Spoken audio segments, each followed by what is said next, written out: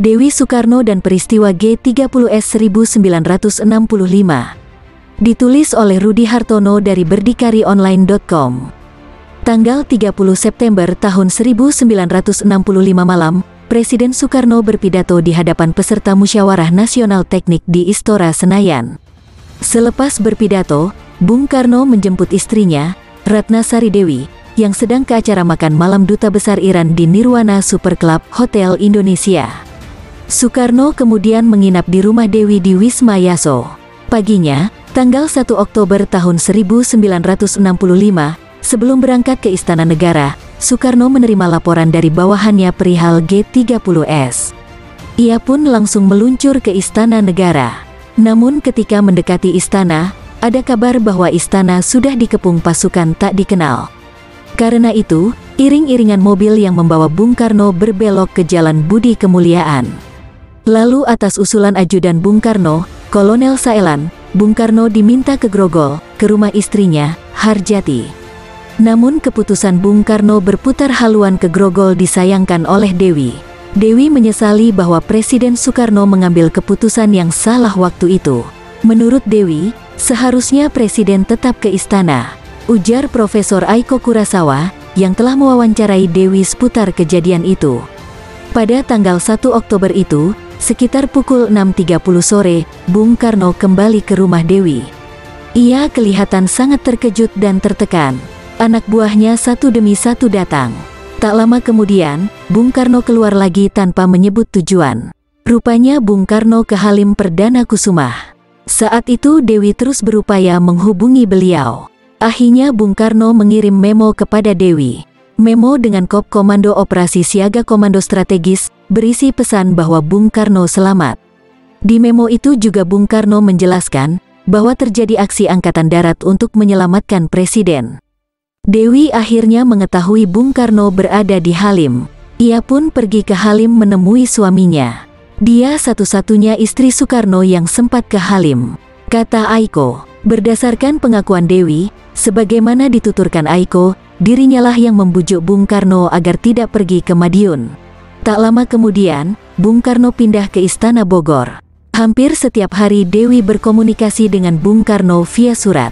Aiko, yang telah menganalisis sembilan lembar dari surat itu mendapat kesan, bahwa Bung Karno tidak mengetahui rencana aksi G30S sebelumnya. Menurut Prof. Aiko, Dewi kemudian berupaya menyelamatkan Bung Karno. Pada tahap awal, ia berupaya mendekati Soeharto. Ia berharap Pangkostrat itu bisa memulihkan stabilitas dan melindungi Bung Karno. Dewi kemudian mengundang Soeharto dan istrinya, Ibu Tin ke Wisma Yaso untuk makan bersama. Ungkap Aiko, tak hanya itu, Dewi juga berupaya mendekati istri Nasution. Ia mengirim surat secara diam-diam melalui sekretaris pribadinya. Yang menarik, seperti diungkapkan Aiko, Dewi memang bersikap anti-komunis dan lebih memihak kaum nasionalis.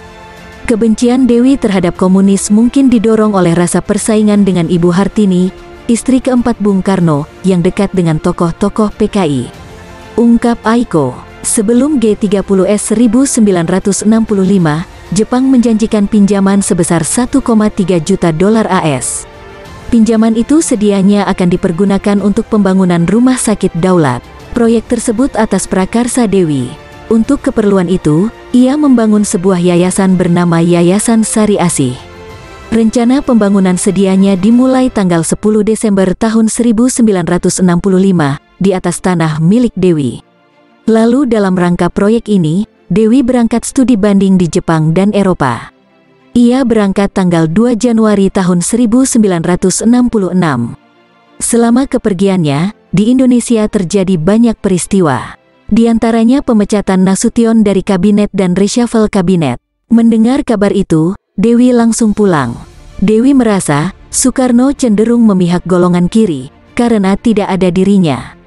Papar Aiko, menurut Yuanda Zara, sang penulis biografi Dewi Soekarno, Subandrio lah yang memaksakan Bung Karno berpisah dari Dewi, yang dianggap terlalu dekat dengan Nasution dan tokoh kanan.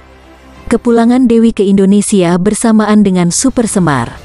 Tetapi ia belum menyadari arti penting surat itu bagi kekuasaan Bung Karno. Karena itu, ia pun berusaha menjembatani suaminya dengan Soeharto. Pada tanggal 17 Maret tahun 1966, ia mengundang Soeharto makan bersama di Wisma Yaso. Lalu pada tanggal 20 Maret tahun 1966, ia bermain golf dengan Soeharto. Soeharto saat itu menganjurkan Dewi agar mendorong suaminya ke luar negeri untuk istirahat. Saat itulah Dewi baru menyadari kalah. Ungkap Aiko. Akhirnya pada November tahun 1966, Dewi ke Jepang untuk pemeriksaan kehamilannya.